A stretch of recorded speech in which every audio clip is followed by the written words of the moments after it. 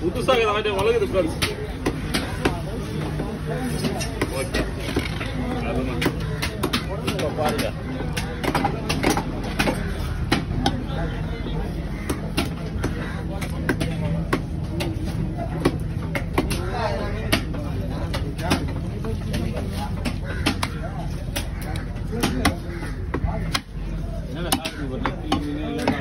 பாருங்க ஃப்ரெண்ட்ஸ் எல்லாம் மீனை சாப்பிட்டு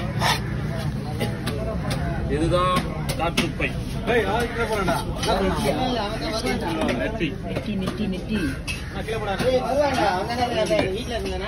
பண்ணிடலாமா